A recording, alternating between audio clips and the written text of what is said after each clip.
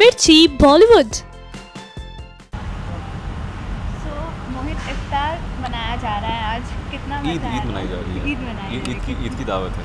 कितना अच्छा लग। मज़ा आ रहा है ये सेलिब्रेशन बहुत मज़ा आ रहा है। सारे आ, सब हैं परिवार के सारे लोग आ, सब जब होते हैं एक सेट पे तो बहुत मज़ा आता है मुझे। बच्चे बड़े सब होते हैं सेट पे। पूरा एक पार्टी वाला माहौल है।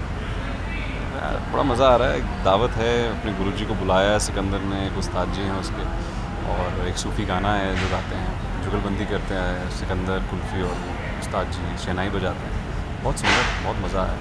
बेटा एक शॉकिंग आ गया है सामने सिकंदर के कुल्फी ने गा दिया है और कुल्फ़ी तो गा ही चुकी है मेरे सामने हाँ, वो तो तो देख ही चुका है लेकिन इतना डिफ़िकल्ट के सामने भी हाँ और बहुत डिफ़िकल्ट गाना है एक्चुअली जो गाना है बहुत डिफ़िकल्ट है उसमें बहुत हरकत है आवाज़ में। और वो अगर गा दिया उसने तो वो बहुत बड़ी बात है। उस पर सिकंदर भी चौंक जाता है कि ये भी गा दिया। और वो एक्चुअली कुल्फ़ी की क्वालिटी है कि कुल्फ़ी बहुत जल्दी पिकअप करती है, जो भी देख लेती है। तो वो जैसे ही सिकंदर को उसने पहला मुखड़ा गाते हुए सुना, उसने फट से पकड़ लिया। फट से पकड़ लिया और गा दिया। और वो भी चौंक जाते हैं मेरे उस्ताद जी कि बच्चा प्रॉडिजी है। आ रहा हूँ छोटी सी है प्रॉडिजी है, ये मतलब कमाल है बच्चा, भगवान का बच्चा है ये। वो भी चौंक जाते हैं हर कोई चौंक जाता है। बहुत अच्छा गाती है वो। पर हमने देखा गाने के दौरान सिकंदर काफ़ी इमोशनल भी हो गए थे जिसमें कुल्फी ने आके हाँ तो सिकंदर का अपना एक चल रहा है। सिकंदर को पता लग चुका है कि उसकी एक बेटी है गाँव में और जो उसके बड़े भाई हैं वो गए हुए हैं ढूँढने के लिए।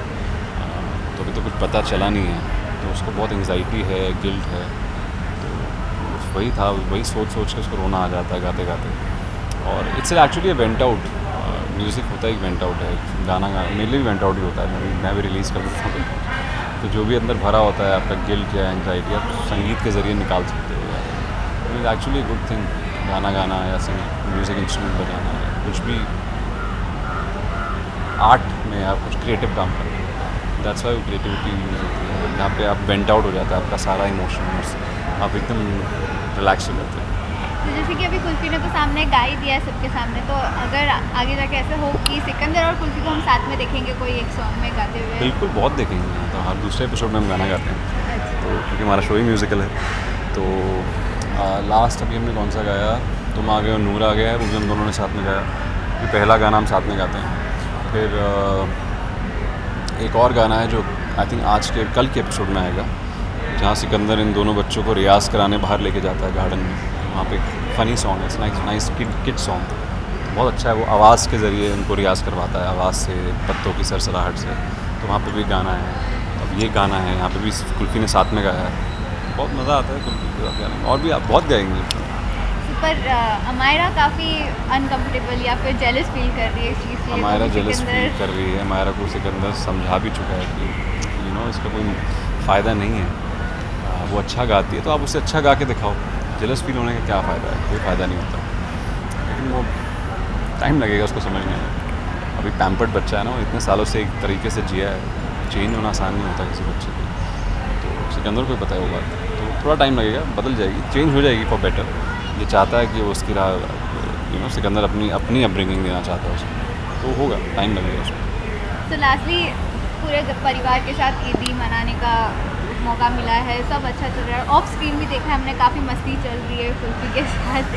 क्या कहना चाहोगे उस बारे में? देखो, वो तो चलते रहना चाहिए। इट्स नाइस ब्रीदर सीन्स मेरे बहुत इमोशनल होते हैं और बीच में एक ब्रीदर मिल, आ रहा हूँ, आ रहा हूँ। मुझे कुल्फी बुला रही है। मैं ज़रा चाहता हूँ, उसको कुछ बात करनी है मुझसे। ठीक है।